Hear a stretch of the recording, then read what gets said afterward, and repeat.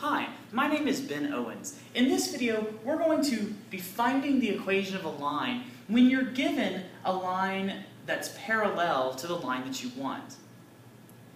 In order to find the equation of the line, you always need two things. You need the slope and you need a point.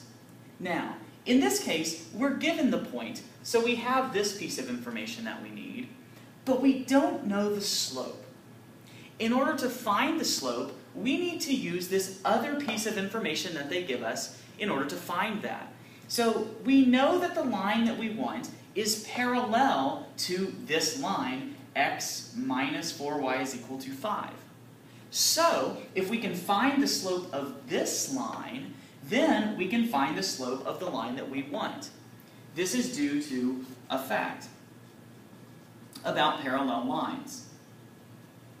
Parallel lines have the same slope.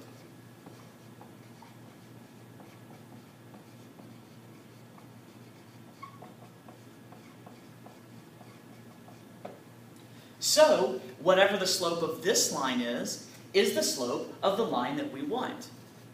So let's find the slope of this line. If we have x minus 4y is equal to 5, probably the easiest way to find the slope is to simply solve for y. If that would be putting the equation in slope-intercept form. In order to do that, we could subtract x from both sides. So minus 4y is equal to negative x plus 5. And then we're going to divide both sides by negative 4. Doing so gives us y is equal to 1 fourth x plus 5, or minus 5 fourths.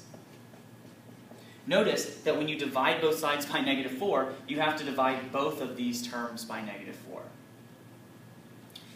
The only part of this equation that we're interested in is right here. The slope is always the number that precedes the x variable, and so this is the slope that we need. So the slope of the line that we're trying to find is 1 fourth.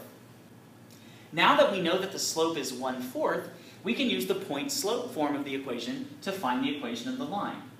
That would be y minus 2 is equal to 1 fourth x minus 4. Now we can put this in slope-intercept form. y minus 2 is equal to 1 fourth x uh, minus 1 by distributing the 1 fourth, and then adding 2 to both sides gives us y is equal to 1 fourth x plus 1. And this is the equation of the line in slope-intercept form. Thanks for watching.